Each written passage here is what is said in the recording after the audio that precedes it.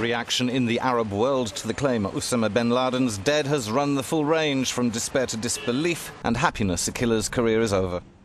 The death of Osama bin Laden, it does not have much significance for us as Arabs here in this country or for our uh, people back home. The killing of Osama bin Laden for our people back home was a relief because majority of his victims were Muslims and Arabs all of a sudden we become the bad guys because we are associated with this person, because we look like him, we speak his language. I always said, if I take this color off and I walk in the street, people think, you know, uh, I am Osama bin Laden. I'm a tall guy like him with a beard, and, and, and there is no differentiations, there is no understanding. There's so much ignorance in this country about the Arab community.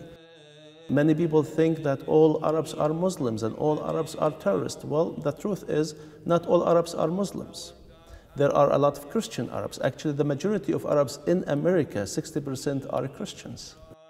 I don't think the killing of Osama bin Laden is going to make a huge difference in the political arena of the Middle East now. What will make the difference is solving the Palestinian-Israeli conflict, ending the occupation of Iraq, getting out of Afghanistan.